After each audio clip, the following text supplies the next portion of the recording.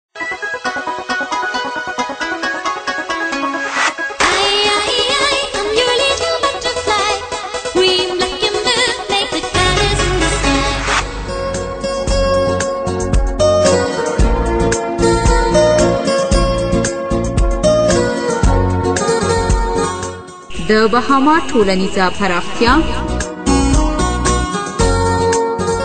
د بهاما هیواد شپږ نوي سلنه خلک په لیک او لوست پوهیږي د دغه هیواد څلور نوي سلنه ښځینه هم له سواده برخمنې دي او د نارینهو د زده کړې سلنه یا فیصدي تر شپږ نوي پورې رسیږي دغه هیواد یو سلو دیارلس لومړني ښوونځي لري چې پکې څلور دېرش زره او دوه سوه زده کوونکو ته د پنځلس سوه پنځوس ښوونکو لخوا زده کړه ورکول کیږي او په دغه هیواد کې شپږ ویشت منځني او مسلکي ښوونځي هم شتون لري چې پکې اووه زره او اته سوه زده کوونکي د دیارلس سوه پنځوس ښوونکو له لوري د زده کړې لاندې نیول شوي دي همدارنګه نوموړی هیواد یو پوهنتون لري چې درې زره څلور سوه پنځه شپېته محصلین او یو سل او شپېته مسلکي استادان لري زده کړه په بهاما هیواد کې د شپږو کلونو او شپاړس کلونو ماشومانو او تنکیو ځوانانو لپاره وړیا او جبري ده په دې هیواد کې پنځه شپېته زره او څلور سوه پنځه شپېته ماشومان او ځوانان په زده کړو بوخت دي چې د هیواد 22 فیصده نفوس جوړوي په بهاما کې د مطبوعاتو په بهیر کې درې ورځپاڼې شتون لري چې تیراژ یې اته ویشت زره دی او هرو زرو کسانو ته سل ګڼې رسیږي همداشان په دې هیواد کې کتابونه هم خپریږي په دې هیواد کې هر کال هر کس لس کیلوګرام کاغذ د لیکلو او خپرولو لپاره لګوي په بهاما کې هر شپږ سوه اته اویا کسانو ته یو عمومي ډاکټر او دوه سوه اته پنځوس کسانو ته د روغتون یو کټ رسیږي په دې هیواد کې 6500 کسان په ایډز او کابو 200 کسان په نری رنځ اخته دي په دغه هیواد کې داسې ټولنیزې بیمې د خورېدو په حال کې دي چې د ناروغتیا، وزګارتیا، زړښت، معلولیت او مړینې په وخت کې د خپلو خلکو سره پوره اړینې مرستې کوي. د هیواد د ټولنیز پرمختیا په اړه مو د شکرالله پاڅون معلومات اوریدل. بهاما هیواد درې ډوله پوځ لري مځکنی سمندري او هوایي پوځ په دې هیواد کې د عسکري خدمت سن اتلس کلن دی هر ځوان چې اتلس کاله عمر ولري نو د دې هیواد په پوځ کې ځان سوق کولی شي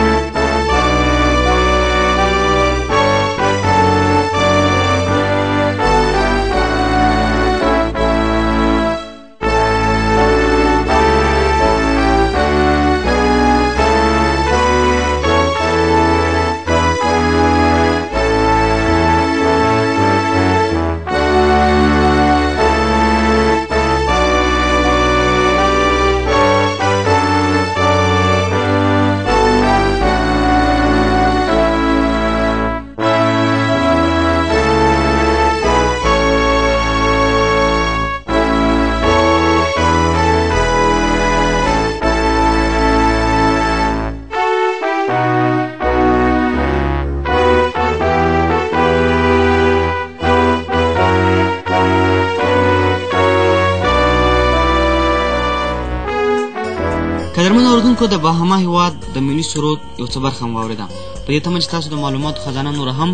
بډای شوي وي راځو د خپرونې پاتې برخه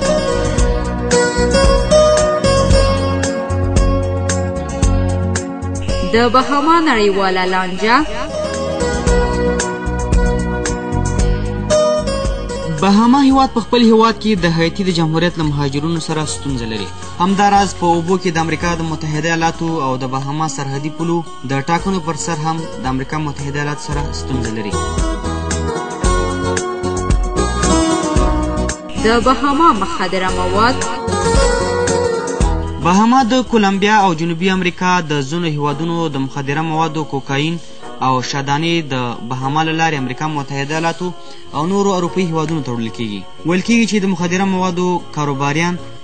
څه پیسې د بهاما هېواد په بانکونو کې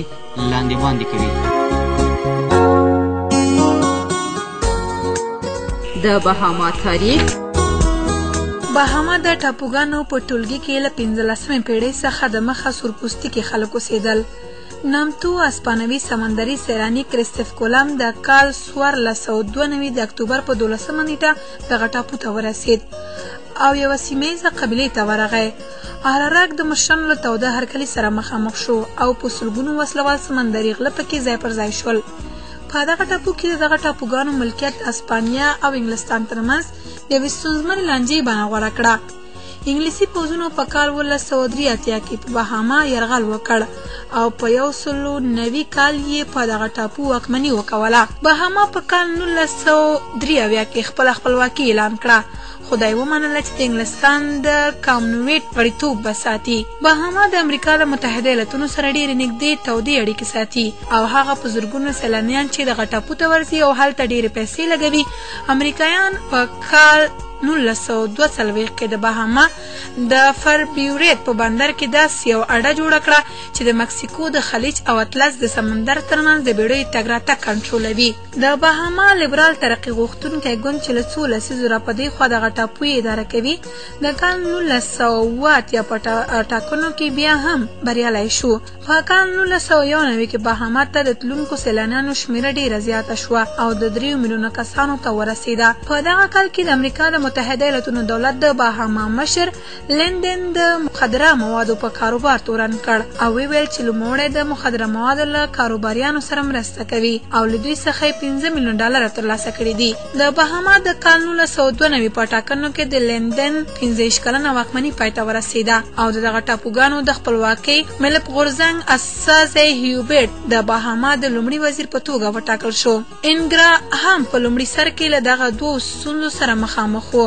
لومړی د کیوبا او هایتی د هیوادونو مهاجرین چې دغه هیواد ته یې ګڼ شمېر سیاسي او امنیتي ستونزې پېښې کړې وې او بل د وزګارتیا ستونزه چې په خپل وار یې د مهاجرینو ستونزو سره نیغ په نیغ اړیکې درلودې بهاما په کال نولس سوه پنځه نوي میلادي کې د هایتی له دولت سره داسې یو تړون لاسلیک کړ چې له هغې مخې د هایتی ګڼ شمېر مهاجرین بېرته خپل هیواد ته ستانه شول خو کیوبیایي د مهاجرینو خپل هیواد ته ستنېدل ونه منل او هلته یې وکړه چې د امریکا متحده ایالتونو ته واستول شي امریکا دغه غوښتنه ونه منله او په باهاما کې میش ډیر کیوبي مهاجرین بیرته کیوبا ته ولیږدول شول د کال 1999 په دسمبر میاشت کې داسې یو سمندري توپان په بهاما راوالوت چې په ساعت کې 240 کیلومتره ګړندی تګ درلود او 12 ساعته وخت یې ونیوه دغه توپان په زرګونه کسان بې کوره کړل او د دغه ټاپوګانو اقتصاد ته یې درانده زیانونه واړول په کال 2001 کې د بهاما دولت ډېر هغه بانکونه وتړل چې د مخدره موادو پیسې یې سپمولې او ضمنا یې کابو هغه یو لک شرکتونه بند کړل چې د بهاما له مالیاتي اسانتیاو څخه ګټه پورته کوله او د نړۍ په نورو هیوادونو کې کار کاوه. ګرانو دوستانو د څنګ جبرخې نه مو د بهامه هیواد د تاریخي پیښو باره کې معلومات واورېدل په دې تمه چې ستاسو معلومات زیات شوي وي تر بلې خپرونې پورې ما خکزار زیب او سره خپلو همکارانو ته اجازه راکړئ تاسو په لوی څښتن تعالی سپارم خوشحاله شبي ولرئ د خدای پامان